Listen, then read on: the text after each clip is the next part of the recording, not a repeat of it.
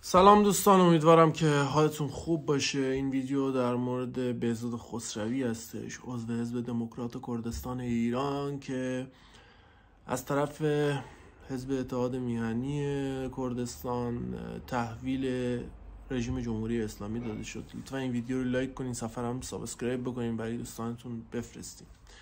متاسفانه با خبر شدیم بهزاد خسروی اهل شهر سقز متاسفانه چیز میشن دستگیر میشن از طرف حزب اتحاد میهنی کردستان و گویا شکنجه شدن و زندانی شدن و بعد از این موضوعات ایشون رو تحویل نیروهای جمهوری اسلامی دادن. بهزاد از چند سال پیش به صورت پناهجو در کردستان اقلیم کردستان یا همون کردستان عراق زندگی می‌کرده با خانوادش و عضو رسمی حزب دموکرات کردستان ایران بوده و به اتهام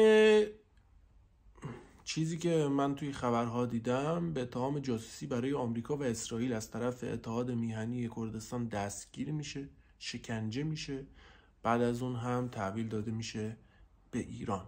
این کلا اتهام بوده. ولی چرا اینجوری هسته جریان چی هسته چرا کردها رو به این فکر می‌کنم این بار دوم هم هستش که یک کرد رو اینجوری تحویل میدن به جمهوری اسلامی ایران. اگر خیلی نمی‌دونن اصلا شرایط وضعیت سیاسی کردستان چجوری هستش در کردستان عراق. ببینید دو ما دو تا حزب بزرگ داریم در کردستان. یکی حزب دموکرات کردستان هستش و یکی حزب اتحاد میهنی. این در کردستان عراق رو این رو خدمتتون عرض می‌کنم. حزب دموکرات کردستان که تحت رهبری رهبری آقای بارزانی هستش و حزب اتحاد میهنی کردستان تحت رهبری آقای طالبانی بافل طالبانی هستش. اینها با همدیگه و حزبهای دیگه حکومت اقلیم کردستان رو تشکیل دادن. یعنی به صورت یک پارلمانی هستش و بیشتر کرسی ها فکر می‌کنم الان به دست حزب دموکرات کردستان هستش. ولی حزب دوم حزب اتحاد میهنی هستش که رهبریشو آقای بافل طالبانی دارن. کردها خیلی ناراحتن از این موضوع. چون میگن از خود آقای طالبانی اتفاقا ناراحتن که چرا این عمل رخ داده چون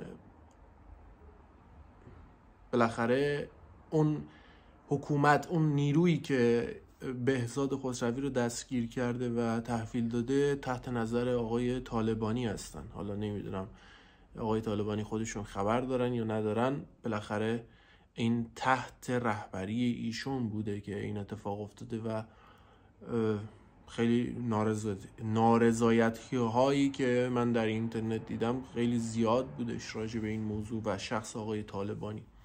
ولی احزاب احزاب در کردستان مخصوصا این دوتا حزب قدرت های سیاسی خودشون رو دارن نفوذ سیاسی خودشون و قدرت حتی نظامی خودشون رو دارن.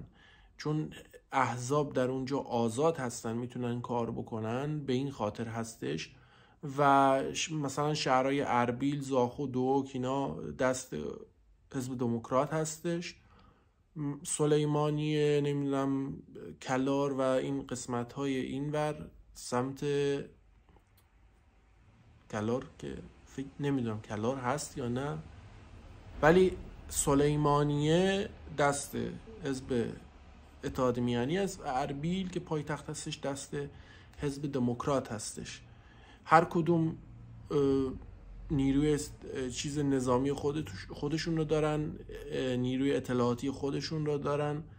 ولی توی مبحث کردستان همه با هم همکاری دارن. ولی برای خودشون هم کار می‌کنن. یعنی مثل کشورهای مثلا بلژیک. بلژیک هم دو تا چیز داره دو تا